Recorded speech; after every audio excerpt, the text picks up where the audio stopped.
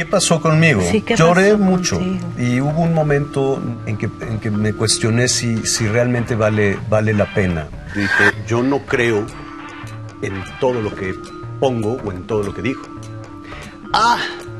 ¡Qué barbaridad! ¡Qué falta de compromiso! ¿Cómo es posible? ¿Pero qué pasa entonces? ¿Por qué no está este, hechos en cada uno de los mítines de López Obrador?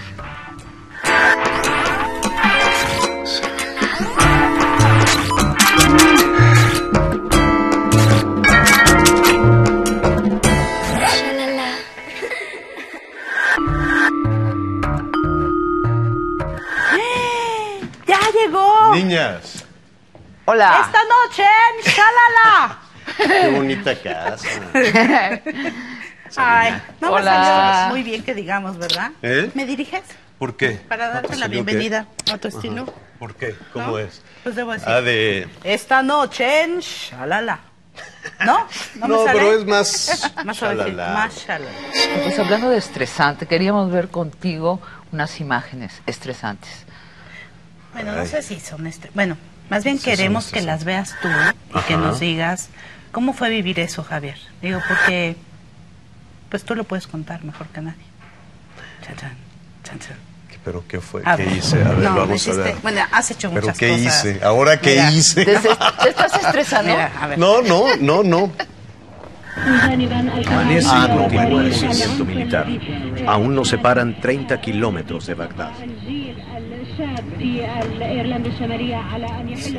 En Irak, Javier Alatorre, Fuerza Informativa Azteca. Fue la mañana, eh, fue una mañana durísima. Ese es el palacio de Saddam. Este, y fue curioso porque no te encontrabas a, a muchos colegas, a ninguno. En realidad había un hotel, el Hotel Palestina, aquel famoso Hotel Palestina. Exacto. Y, y casi no se salía del hotel, se, se enviaban muchos despachos y reportes desde ahí. Y yo entraba y salía y entonces ya algunos colegas decían, pero ¿cómo, cómo, cómo haces eso? Y le digo, pues, pues es que hay que salir. Las calles estaban desiertas, Javier. No. No, había muchas. Eh, había unos saqueos este, y la gente en ese momento, en, en ese día, eh, todavía muy, muy desconcertada la gente, eh, Acaban de temerosa. las tropas aliadas, ¿no? Ajá, muy temerosa, muy desconcertada. Y, y- y bueno, yo creo que era la primera... Mira, si, si te das cuenta, logramos, atrás de nosotros encontramos un socket un día que hubo luz, Ajá. porque no siempre había luz ni a toda hora. Entonces, de, de ese socket conectábamos una lamparita eh, y un cable para poder editar y para poder este, iluminarnos un poco. Estábamos en una, en una habitación que, le, que a su vez le subarrendábamos a unos iraquíes que habían tomado eh, posesión del hotel. Esa era tierra de nadie. Lo, lo que yo pagué no fue a dar a la administración de ese hotel. Claro. No, no, no había como tal. Y esa escena, Mira esa. Esta. Esa nos llama mucho la atención. Ah. Sí, sí, sí. Ahorita. Eso eran unos, este, fue ya de las, de las, eh, de algunas eh, escaramuzas de ese, de ese día entre, pues parte todavía de la, de la, del ejército iraquí. Las milicias, ¿no? Que- Ajá. Subes y te bajas, ¿por qué? Me subí y me bajó. Sí, o sea, y, y estaban Había discutiendo si te parabas o no te parabas. Sí, porque del otro lado del río estaban disparando hacia acá. Yo estaba de este lado, atrás de mí estaba Ajá. parte del, del- del ejército de, de Estados Unidos que, que um, bueno, es que van, van las imágenes muy rápido sí, para sí. poderles explicar, Pero pero, podían fueron disparar, varios pues. momentos muy interesantes ahí. Estaba Eh, viva la guerra todavía. Sí, sí, sí, sí, sí. Sí, sí, sí, claro. Había un- una parte muy interesante de no quedarse en el, en el hotel siempre. Claro. Y de, y de encontrarse cómo el ser humano tiene la, la necesidad de sobrevivir a cualquier pesadilla lo más pronto posible. En esos días te podías encontrar, eh, mm, bueno, yo soy católico y entonces fui a buscar una, una iglesia un domingo de una comunidad católica que es muy chiquita, muy chiquitita. Y entonces este, me encontré en un barrio católico que de pronto la ciudad estaba como que muy, muy dividida en ese sentido. Eh, y cómo hacían un esfuerzo de limpiarse lo más posible, de ponerse su, su mejor ropita y um, asearse con lo que se pudiera y, y salir, salir, este, barrier su calle, en fin, y, y tratar de recuperarse de algo que es muy difícil. Hasta la fecha no han podido. Creo que ahora es muchísimo más difícil. Eh, y tratar de, de acabar con, con esto. Mira este jovencito armado eh, y veías disparos y la gente armada en todos lados. Es una historia que han vivido varias generaciones. Irak llevará por lo menos continuamente más de 30 años, más de 30 años con esta historia constante. Pero ¿cuál fue un momento que te simbró a ti como periodista? Es decir, eres periodista, tratas de ser objetivo, lo eres en la mayor cantidad posible, pero antes que todo eres un hombre. Claro. Y entonces por eso te digo que en este tipo de cosas es muy difícil este tema de la objetividad. Yo creo que la primera que fue esta y la más reciente que no la última, que fue esta, aunque ya no tengo muchas ganas de ir a, a cubrir una guerra, pero uno nunca sabe. El hecho de, de haber hecho, de, el hecho de haber llegado a esa cobertura, dije, sí, esto es lo mío. No estaba yo muy seguro. La verdad no, no, no había algo que me, que me hiciera tomar la decisión de, de dedicarme Pero, a ¿por- esto. ¿Por qué? ¿En qué reconociste esto es lo mío? en que quería contar la locura, la- e- estas locuras. Y quería contarlas bien. dije, no, yo tengo que buscar la forma de, de contar esto para que no se repita, para, para que no sean. ¿no? ¿Qué es lo que más te conmovía? Em,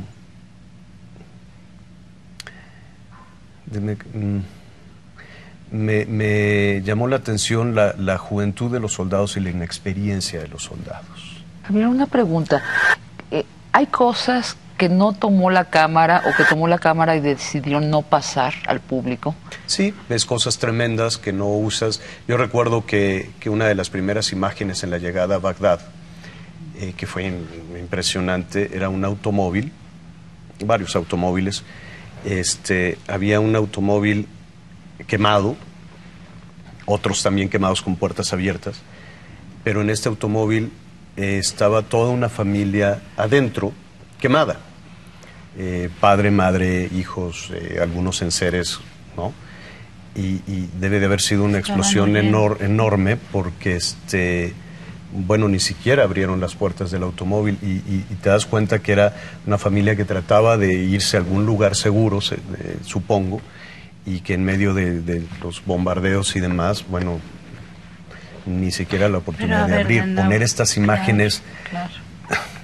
yo creo que te puede solucionar eh, a- a- a- em, la, la descripción con solo, poner, con, solo poner las imágenes, pero tu responsabilidad entonces está en llamar la atención sobre esta locura sin tener que, que utilizar este, este tipo de cosas. Sin A horrorizar. ver, Sin pero horrorizar. Javier, Ajá. está hablando el periodista todavía, ¿no? Porque lo tienes muy racionalizado, porque evidentemente... ¿Qué pasó conmigo? Sí, ¿qué Lloré pasó mucho contigo? y hubo un momento en, en que en que, en que me cuestioné si, si realmente vale, vale la pena.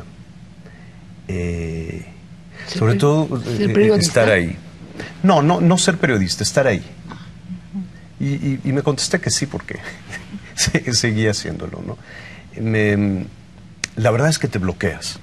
No es Por te- sobrevivir, pues sí, ¿no? pues sí, puedes. No sé si sea la palabra correcta bloquearse, pero es algo en lo que no piensas. O por lo menos yo sí lo he pensado, ¿no? De- lo, lo- lo he decidido. El momento en el que piensas, eh, estás en una reunión, muy, a- muy divertido, por poner un, ex- un caso completamente distinto. Y en el momento en el que piensas, ya, estás listo para irte de la reunión más divertida del año, ¿no? Y en el momento en que en tu trabajo pienses, ya, estás listo para migrar, para, para hacer otra cosa. Entonces, no lo pensé, nu- nu- nunca pensé ya, Hasta- pero sí pensé que era una que era una Cosa locura esto, dura, ¿no? ¿no? Una- un asunto fuerte, sí, te, te conmueve muchísimo. Y antes de que empezara la guerra, sí había mucho nerviosismo en la, en, en- en la cobertura, ¿no? De a- a- hacia dónde vas, a qué vas. Y, y si, si decidías hacerlo un poco con Estados Unidos, pues ellos te iban llevando a una serie de lugares liberados, ¿no? De sitios liberados del yugo de Saddam.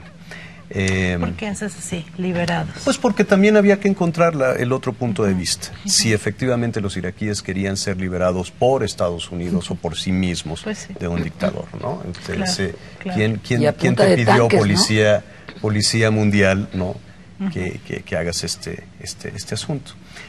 Em, pero bueno, el hecho es que entré de ilegal, entré de, contraté un pollero y, y- y me metí por la frontera eh, jordana junto con otros colegas. E hicimos una especie de caravana, entonces íbamos griegos, em, ingleses, em, eh, eh, de, de- de los japoneses que traían unos juguetes maravillosos, ¿no? Los japoneses traían Claro. así toda la tecnología y una banderota enorme que por andar poniendo esa banderota, ¡pum! les volaron su camioneta, no les pasó nada. Afortunadamente, pero se, se dieron el susto. Muy- Y bueno, íbamos nada más mi, mi, mi compañero camarógrafo, Marín, y yo.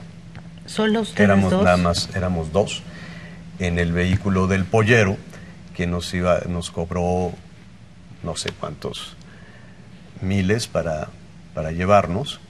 Entonces él nos dijo, de la frontera a Bagdad son 500 kilómetros. Este, y le calculamos, dije, 500 kilómetros, pues estaremos llegando eh, cinco horas, ¿no? Cinco o seis horas. Entonces fuimos ahí a este mercado en, en Amán, donde hay puro maloso, puro delincuente, este, contrabando y dijimos, pues aquí nos podemos encontrar algún maloso que nos lleve y sí, encontramos ahí un maloso que tienes que regatear y en fin. Eso no sé si te lo dieron porque pusimos una cámara escondida, citamos a, los malosos en una habitación de hotel en Amán para ahí negociar todo el, el dinero y grabamos, grabamos todo. No se debe de hacer este asunto de contratar polleros. El hecho es que nos hicimos un, un grupo así, muy interesante, incluidos los japoneses, y nos fuimos todos. Esas cinco horas se convirtieron pues como en unas cuarenta y tantas horas, las peores cuarenta y tantas horas de mi vida, porque ¿Por qué? ¿Qué sentías en esos momentos? ¿Era, era que miedo, incertidumbre o, o- Tiene- yo, yo creo que hay, como, como en los huracanes, yo creo que, que hay una parte, la parte más primitiva de ti se activa, ¿no? Este, tu, tu parte de instinto se, se- se do- domina y entonces no te da tiempo de estar pensando en estas cosas que te puedan debilitar, ¿no? Claro. Yo creo que el miedo te puede paralizar o te puede debilitar o que empieces a, a- a pensar en, en el cómo ser o, o- o voltear hacia atrás el, el camino de regreso, ¿no? Eso no, no, no creo que lo ves ni ni te pones, eh, yo creo que es una posición muy egoísta, pero tampoco te pones a pensar mucho en, tu familia? Exactamente, en los tuyos. Más bien, en ese momento está tu parte más primitiva de instinto, Sobrevivencia pura. de instinto, hacia dónde te mueves, que sí, que no, en fin. Y entonces había grandes discusiones de cómo, que si avanzábamos o seguíamos, si avanzábamos o seguíamos. Se dividió el grupo, eh, algunos se, se regresaron y, y seguimos la mitad. Era, ya estamos a la mitad, era lo mismo, seguir a Bagdad que regresar. Entonces se, se enrojecía el cielo, aquello era impresionante por, por em, y, cómo se, se oía se- por las el fuego, por las bombas. Claro. Y cómo, cómo se, se oía a la distancia el, el sonido, a ver si lo puedo explicar, pero lo sentías en el estómago, primero, boom, boom, era, era ese sonido que salía de la tierra, este, en lugar de, de que te llegue normalmente el, el- el sonido viajando a través de, de- Del aire. del, del aire, ¿no? Entonces se retumbaba muchísimo y lo sentías en, en el estómago. Y em, ya era una cosa impresionante. Hubo, hubo un momento bueno, pues no íbamos armados ni nada. Y era una oscuridad enorme. Después de ver destrozo y medio, porque conforme ibas avanzando era muy complicado avanzar porque las carreteras Estaban destrozadas. destrozadas, encontrabas vehículos, eh, eh, gente destrozada por ahí. Y, em, y entonces tenías que tomar muchas precauciones porque no sabías en la oscuridad en la carretera si había alguna señal de alguien, no sabías quién era ese alguien, no sabías si era eh, tropa de Estados Unidos, tropa australiana, que andaban por ahí muchos, eh, o ingleses, o del ejército de Saddam, que hubiera por ahí algunas bandas, o em, gente armada robando. ¿no? Que, No que- sabías qué te sucedía, ibas a ¿no? Al- encontrar. Algunos de los colegas eh, reporteros que murieron fue asaltados por estas bandas armadas de gente en medio del caos y del desorden que querían robar lo que fuera. Entonces era, era muy difícil porque tomar la decisión, sobre todo ya no la tomábamos entre todos, ya nos reuníamos después cuatro o cinco a tomar una decisión que involucrara al resto. Entonces, eh, que, apaguen las luces. No, no, no, no apaguemos las luces. Mejor encendamos las luces, pitemos y, y- y señalemos, a ver, que los japoneses pongan su bandera, ¿no? Porque tienen una banderota blanca enorme, ¿no? Para hacernos notorios como prensa. Como, sí, como prensa y que, que ahí íbamos sin ninguna escolta de ningún ejército ni nada. Eso probablemente es, es más complicado, pero te da una historia distinta a la que se pueda contar Desde el otro lado. desde el otro lado. Oye, Javier, te decías, cuando estás ahí sale la parte primitiva, la de la supervivencia. Ah, sí, es que ya no te pero contaba de supongo- eso, ajá. Sí, supongo que llega un momento en que te cae como la cruda de esa borrachera, Sí. ¿no? Sí, ¿Cómo me cayó muy feo ti? eso a mi Ajá. regreso a México. Eh, oh, tremendo. Sí. No sabía que eso me iba a pasar porque no es la primera ocasión en que estoy en una cobertura de estas. Ajá. Y, y probablemente regresas y te involucras así en el día a día. Y, y sigues, haces tu trabajo y sigues. Pero en esta ocasión sí hubo algo que yo no entendía. Dije, ¿por qué me siento así? Me sentía realmente mal, físicamente mal, físicamente muy mal. Em, Y anímicamente. Peor. Peor. Peor. Y entonces empecé a buscar, eh, por, porque dormía muy mal, bueno, no dormía, me daba miedo, dije, ay, ya se acerca la noche, ya tengo que dormir.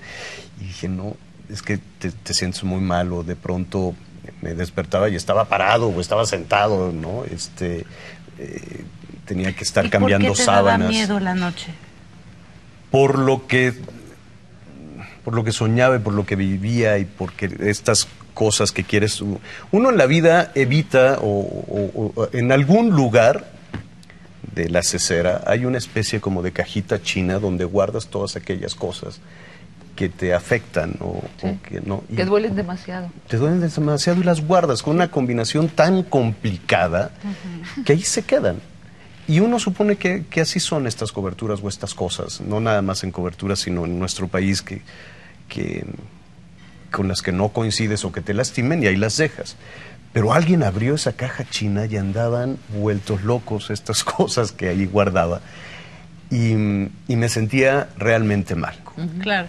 ¿no? Pues sí. que, pero nunca, nunca lo había vivido y es muy feo. Es horrible. Pero no, ya.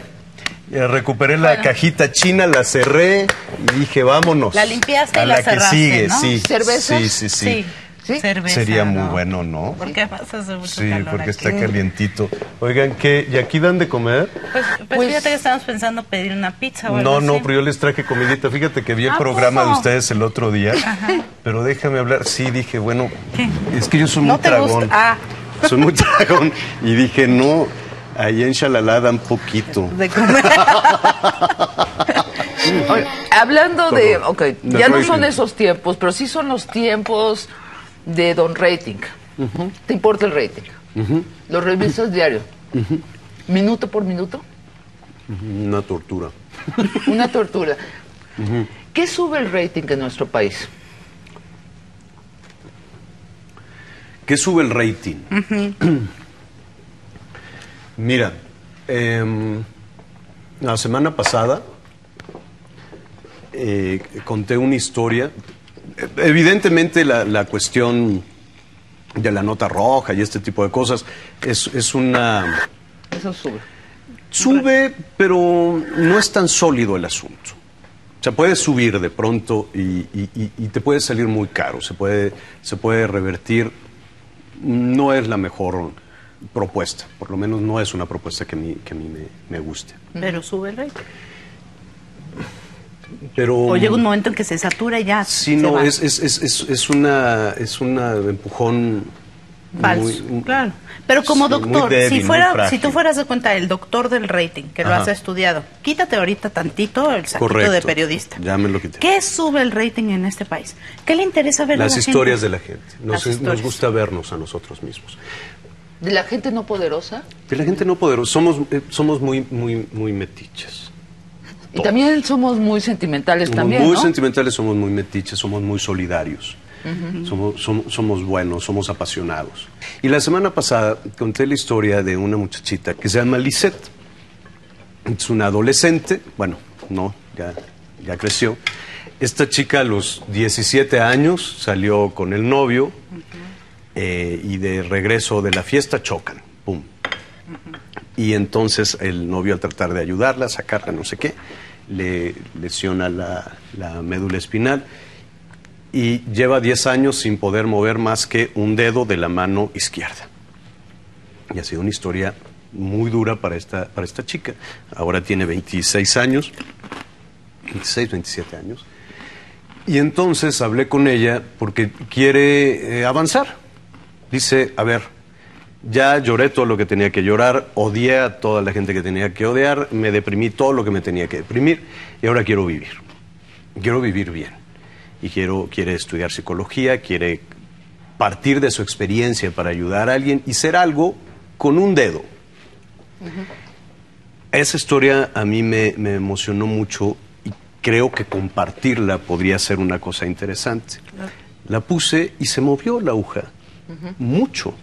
Se movió espectacularmente. En las noticias que se pasan por la tele o no se pasan. Y en el orden en que se pasan las noticias. Y el tiempo que se les da, ¿no? hay, Sí. hay ideología. Es una pregunta. Yo creo que estarías eh, limitándote, ¿no? En alguna, en algún, o sea, te estoy contestando que no, pues, y que te estarías limitando de alguna manera. Hubo una reunión hace algún tiempo en Veracruz donde se discutía el tema. Y entonces eh, recuerdo que contesté o participé y dije, yo no creo en todo lo que pongo o en todo lo que digo. Ah, qué barbaridad, qué falta de compromiso, cómo es posible. Ah, no, le dije, no, espérame, compadre. Imagínate que solo a la hora de formar el noticiero voy a poner aquello con lo que coincido o esta parte de ideología. Y, y- y- si te vas a guiar por la parte de, la- de ideología, vas a empequeñecer tu mundo, Entonces, ¿cuál es tu criterio? ¿no? Ajá.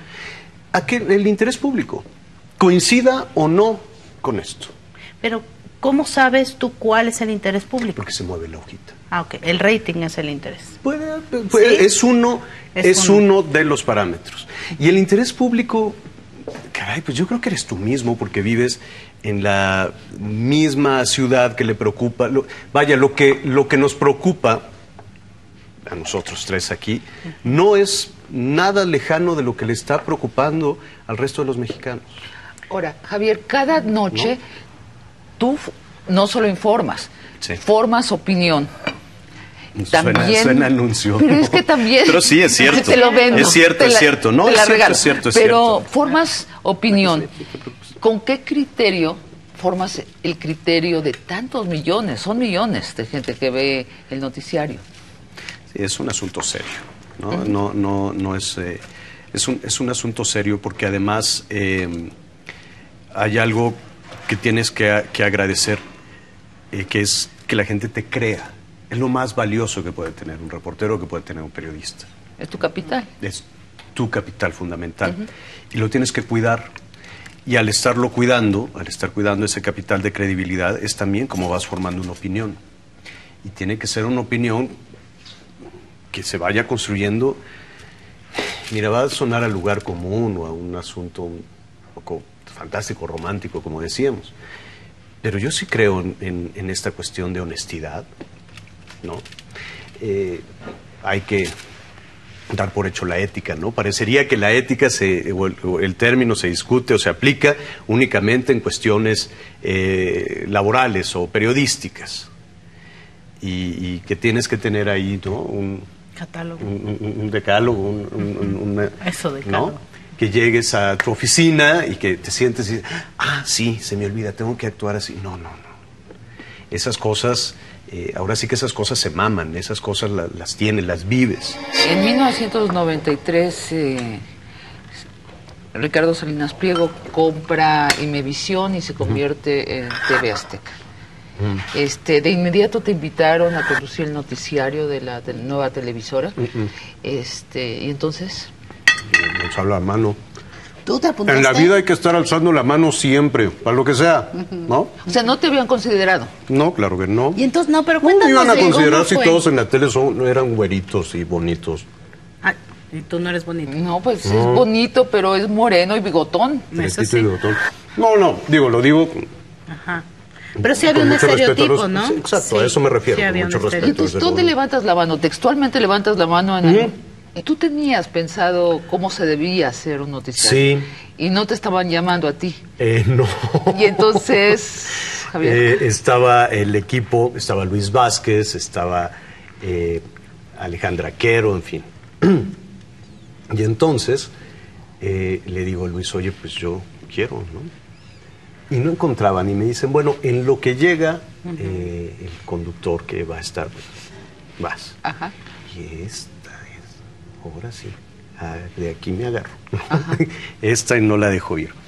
Y recuerdo que, que bajaron ahí rápidamente a la cabina. ¿Qué te pasa? Porque pues no, no contaban con que iba a estar yo tan gritón, ¿no? Ajá. Y este, El estilo de la torre. el estilo a la torre, ¿no? Y la frase, me acuerdo que unos días antes le estaba yo, yo tengo, tengo que salir y a decir algo, ¿no? Y sí busqué algunas, la de esta noche en Hechos. eh, La, la- la frase completa era, esta noche en Hechos, la historia de hoy. Y este, y entre que el nervio y entre que, pues, tenía que decir, es como llamar a misa, ¿no? Entonces me decían, ay, me acuerdo que mis colegas, eh, la prensa escrita, bueno, pues sí, me, me criticaron muchísimo. Por gritón. Pues no sé, porque había, la verdad es que sí había expectativas después de un proceso de, de- de licitación y demás, donde había tantos grupos Interesado. eh, interesados y había mucha expectativa en qué iba a presentar este grupo con el Bueno, noticiario. ¿no? además llevábamos toda la vida desde que existía la televisión con una sola televisora, que era Televisa. Y- Entonces se esperaba un que va a ser TV y con Azteca, un ¿no? solo, exacto. Sí. Y con un estilo que probablemente se, se podía reproducir. Entonces, porque era como la que la fórmula en cualquier parte del mundo, ¿no? Salía un señor, saludaba, Sí, sí, sí. tucu, tu, tucu, tu, y ya. Yo dije, no, a ver, vamos cambiándole aquí el asunto. ¿Qué era lo peor que podía pasar? Lo peor que pudiera pasar. Que te corrieron. Pues sí. No, o sea, no, yo- Entonces, alzas no. la voz. Alzo la voz y, y sale el asunto. Eh, fue muy curioso porque eh, empezó a haber más o menos ahí algunos resultados interesantes con la, con la gente. Y, y bueno, pues funcionó. Me decían, este tal por cual grita como voceador, como si ser voceador fuera un asunto malo. Como si se le olvidó que trae micrófono. Entonces grita como voceador. Y digo, pues yo respeto mucho a mis amigos voceadores y efectivamente. Mis amigos los voceadores lo que hacen es llamar tu atención y alzar la voz para darte las noticias. Yo tenía que llamar la atención, o sea, por Dios, tenía eh, que eh, poner sobre, en, en- el mapa un espacio nuevo. Y después sucedió que precisamente pues, porque pues, Televisa era la televisora de siempre, había gente que no te quería dar entrevistas por Ah, miedo a ser bueno, vetados. Pues, sí. Pues no sé si por ser vetados o no, porque también era la, la acuérdate que Sí, era el momento. hay muchas que- cuestiones de, de- de costumbres, ¿no? Entonces, pues la información, bueno, más que de costumbres, hay que recordar que, que el, el Estado como tal, enorme, enorme, enorme, era el gran generador de información. en cualquiera de sus niveles. Eh, desde un mando medio que podía agarrar el teléfono y hablar y poner a girar ahí a toda Imevisión, ¿no? Y dar órdenes, ¿no? Y daban La órdenes, verdad. y que pongan esto, y que pongan aquello, y que fulanita, y que... ¿no? Y, y de alguna manera la- las noticias eran declaraciones de alguien. Aunque tú fuiste uno de los primeros que entrevistó a Cuauhtémoc Cárdenas en televisión, ¿no? Sí, déjame contarte que fue muy interesante esta, esta cuestión de la de cómo, cómo podías entrar a este monstruo, gran monstruo, esa gran pirámide generadora de, de información que tenía resuelto cómo dar a conocer sus cosas. Una sencillez tremenda, ¿no? Este, pasó esto, pum. Había esta cuestión del boletín perfectamente La instituido. verdad única era bien No bonito. pasaba nada. Era exacto. Pues no no sé si pasaba. bonito, ¿no? Ahí estaba. Era sencillo. al- Era sencillo, exacto. Y entonces, Poco plural, ese- ¿verdad? Pero sencillo. esa dificultad para tener acceso a este, a este Claro. tema ayudó enormemente. Porque dijimos, bueno, si no podemos entrar al monstruo, giremos la ¿Cómo le cámara a a, otros lados. ¿Y a quién giraste la cámara? A la gente como uno. A la gente como uno, incluida oposición, eh, historias, en lugar de decir el índice de inflación tacatú, tacatá, tacatá, ¿no? Pues bueno, ¿por qué no nos vamos a una señora al mercado y que nos diga si le alcanza igual, más o menos? Y entonces, ah, mira, entonces esto es el asunto de la inflación. Ah, mira, ay, esa señora se parece a, a- mí, ¿no? Y ese señor gritón, pues también se parece, ¿no? Entonces hubo un, un- un asunto muy, muy, muy interesante ahí. Y después entra la oposición con un discurso malísimo, muy torpe, porque mm, tenían espacios para decir, o sea, llegan a la televisión a decir que no tienen acceso a la televisión. Entonces los ¿Que tenían mexicanos nos enteramos. informativo? Sí. Algo parecido. Algo parecido. Es una historia que de pronto ahí se repite. Pero los mexicanos nos enteramos a través de la televisión que la oposición no tiene acceso a la televisión. Entonces yo le dije, bueno, ya estás aquí, ya mejor dime otra cosa. Y entonces eran, eran un- unos discursos o una forma de cruzar por la televisión que no, no, no necesariamente el hecho de estar ya te va a ayudar. La televisión no te puede hacer mil veces mejor o mil veces peor de lo que eres de- según el discurso que vayas a llevar, que, que vayas a presentar, ¿no? A ver, un pequeño paréntesis. Y cuando este, los que dividen la presidencia en dos dicen que hay un cerco informativo, ¿qué dices tú? que no hay ningún cerco informativo. Entonces, de ¿por lo qué que no se se trata es del las- talento, de lo que se trata es del talento para poder este cruzar por la televisión. Pero ¿qué pasa entonces? ¿Por qué no está este, hechos en cada uno de los mítines de López Obrador?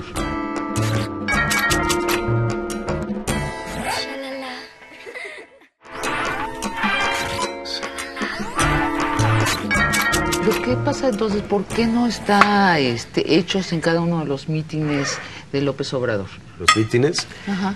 y tú podrías imagínate la cantidad de, de recursos o espacio eh, que tienes que dedicarle a todos los políticos. Yo sé que no es cualquier político, es una figura política eh, importante y que me encantaría que, que- que se convirtiera realmente en un, ah, en un personaje mucho más sólido en ese sentido. Pero a mí me parece muy injusto atribuirle a, la televisión, iba a decir a los medios, pero a la televisión, el éxito o el fracaso de los personajes. Yo creo que es un personaje eh, al cual hay que preguntarle o o conocer su punto de vista sobre los acontecimientos que vendrán en los próximos días y lo que está planeando incluso para noviembre y demás. Yo no creo, o por lo menos de parte nuestra, no hay ni un veto, ni un cerco, y hay una eh, comunicación, ha, fluida. ha habido, ha Y habido hasta comunicación. invitaciones, ¿no? Y hasta invitaciones. Para que vaya. ¿Quién es el personaje que sientes que ha tenido más talento para pasar por la televisión y exponer su mensaje? Andrés Manuel, sin duda. Sí, Andrés Manuel. Andrés Manuel lo ha hecho bien. Eh, Fe- Felipe Calderón, desde luego, ¿no? Eh, no digo desde luego, pero pues es, es digo, los, su cruce por los medios de comunicación, pues también le dieron un espacio importante que la gente votara, ¿no? Oye, Javier, yo te tengo una propuesta. La próxima vez que en el noticiero un eh, político te diga la voluntad política o el costo político, que azotes la cabeza y digas. o sea, porque es, es lo que dices, ¿no? Decir de inmediato, no, eso no. Eso es no estoy aquí, esperando de usted, queremos. señor. Estoy esperando este otro. Yo por eso sí creo que debería de, de haber reelección. Yo sí creo que ¿A qué nivel? ¿A todos los niveles? ¿Presidencial incluso? Sí, eh, porque también la, la otra justificación que te dan los políticos es que no existen las condiciones. Ah, sí, cierto. Esa es otra Esa es otra frase, gran no frase, ¿verdad? Bueno, frase recurrente. Si no hay condiciones otra. políticas para tal cosa, pero, pero entonces, ¿cuáles son? Ajá. ¿Cuándo son? Son Cuando esas le conviene hechas. a mi partido, Así entonces es. sí va a haber condición política. Son- son ¿Qué otras frases? ¿Qué otras frases son estas para no hacer? Este, Los costos políticos, las condi- no hay condiciones. La no hay voluntad condición política. La la, vol- voluntad. la voluntad política, mi hermano. No, no hay voluntad política, compadre. Sí, y No lo sé. dicen en todos los tonos, ¿verdad? Sí, sí. Antes decían el exterior nos lo impide, ¿no? Ahorita el ya exterior menos. nos lo impide, ya le van eh, Sí. bajando ahí un poquito. Cuando, cuando, y lo peor del asunto es que um, estos señores se ponen el, el, la- el ropaje y salen a la calle, pero yo creo que en su casa son iguales que cualquiera de nosotros. Oye, la, la ¿Qué otra le es, preguntarán sus hijos? Subimos los impuestos y luego. Ah, sí es cierto. Y luego, sí, sí es cierto. Que Oye, es Javier. ¿cómo fue cubrir al Papa? ¿Cómo fue cubrir Ah. la, la muerte del Papa y ver a esos millones, miles de personas? ¿Cómo fue? Bueno, el, el- eh, yo creo que es muy interesante, el personaje Carol Wojtyla, ¿no? como, como tal. Em, porque pues sí es cierto que es un gran líder, sigue siendo, ¿no? Sin, sin quitarle reflectores a, a- a Benedicto XVI. Em, no es, yo creo que no es un asunto fácil despertar un liderazgo de, esa- de ese tamaño. ¿No? Al- al- eh, deben de tener algunas características, ya sé que estás pensando, ¿cuáles son las características de un líder? No me las preguntes ahorita porque deben de ser las cosas Bueno, más complejas, hay asuntos, hay asuntos muy, muy difíciles. ¿no? Y otro que era un gran estadista. Se nos olvida también un poco, pero la, la influencia que tuvo este hombre políticamente. ¿Tú estabas conmovido mientras reporteabas Sí, esto? claro. ¿En qué te conmovió Primero, más? por, primero por, por, eh, por, por este tipo de, de- de cuestiones que son de carácter político, de carácter social, que son importantes. No, pero la eso gente, eso me emocionaba mucho. Pero ya con eso, llegas a un lugar donde... eh, el, el- el Vaticano lo puedes cuestionar por muchísimas cosas, ¿no? Que de pronto dices, pero ¿cómo, cómo puedes estar hablando de, de la pobreza y de la humildad y de pronto ves eh, un asunto tan ostentoso como este, ¿no? Estos símbolos de poder desde la arquitectura maravillosa, majestuosa, no con esto quiero decir que lo quiten, no, al contrario, pues ahí está. ¿no? Era una superproducción, todas Era las una- exequias, ¿no? Sí, enorme todo esto. Y, pero, pero más allá de, de esto, el ver que la gente quiere creer en alguien, no necesariamente en algo, porque era muy concreto Juan Pablo II, es un personaje vivo, un hombre, es, es muy emocionante. La gente llorando. Ver que la gente llora, que la gente cree en, al- en alguien y que ese creer en alguien te sirva, te sea útil. Porque cuando crees en algo, en alguien o en algo que no te es útil o, o- o te, des- o te decepciona o te defrauda, es tremendo, es dolorosísimo. En cambio, estas personas pues llegaban y sí te conmueve, te conmueve muchísimo porque se, se, se crea todo un, un clima enorme, ¿no? de, de- de- de una, de una emoción muy fuerte, sobre todo ante una cosa muy, muy triste como esta, pero no deja de ser una emoción muy importante. Oye, Javier, pero, Y es cuando ves, ves que a la gente le, le pueda funcionar eso, ¿no? Pero yo quiero que me cuentes un secreto. Te lo cuento. ¿Cómo fue? Depende porque no comiste gusanos. ya No, habíamos comí quedado. gusanos. Te digo Ajá. que nada baboso me gusta ni rastro. Pero está crispy. Está, está bien. Ahorita a ver si lo intento. A ver si me, me animo. Pero ¿cómo le hiciste para dar tú la exclusiva de que el Papa había muerto? ¿Cómo te enteraste? Tres minutos después sonaban las campanas anunciando su muerte. Ah, esa fue, esa fue muy, muy interesante. Eh, fue una cobertura muy, muy complicada, muy, eran, llevábamos no sé cuántas horas, eh, Claro, espera. eh, no, y además en una transmisión continua, horas y horas, días.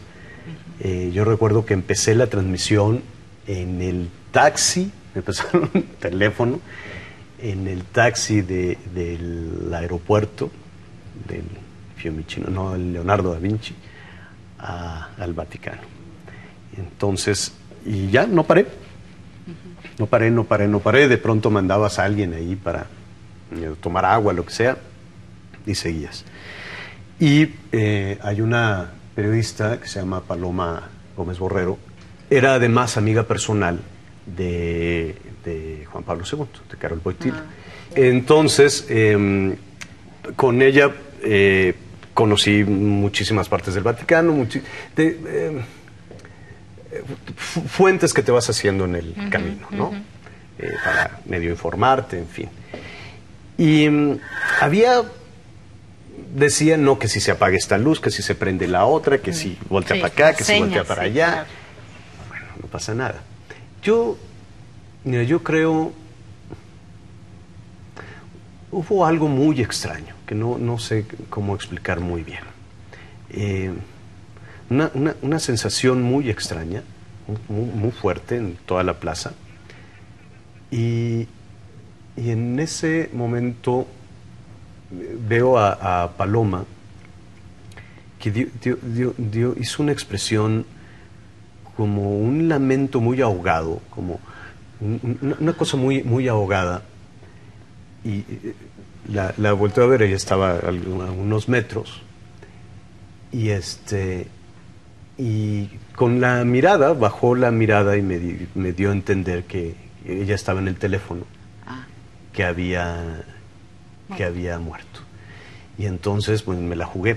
Pero había ¿Te la muchas cosas. Te la jugaste porque tú también lo Bueno, no de jugársela así de. Quiero decir, saliste y dijiste... Estaba en vivo. Cuando yo la volteé a ver, estaba, yo estaba en vivo. ¿Y lo dijiste? Y ella me hizo la señal con la cara de que ya, más, eh, más todo lo que ya habíamos vivido. Y entonces. Y tú este, sentiste ese pesar en la plaza, dices. Yo también lo sentí. Sí, ¿verdad? ¿Verdad que fue una cosa Bueno, inexplicable? no, no sé, yo no estaba ahí, pero lo sentiste. Ah, sí, sí, ¿Y- y sí, sí, sí. Y entonces lo anunciamos y, eh, y ya después eh, nos citaba ahí que la televisión italiana decía, la televisión mexicana acaba de anunciar, en fin, y una serie de cosas y, y después lo confirmado. Eh, Paloma tenía esta... eh, no, es que no era un asunto, con Paloma no era un asunto de fuentes, era un asunto ya de, de amistad cercana. Entonces era a, a través de ella, a través de ella la fuente más... No, no te la juegas, o sea, tienes la certeza de que así es por, eh, por la- el anuncio de Paloma, de Paloma. Entonces sí, fue el primer medio en el mundo en, en anunciar la muerte del Papa, pero por el trabajo de, de Paloma, hay que Claro. ¿no?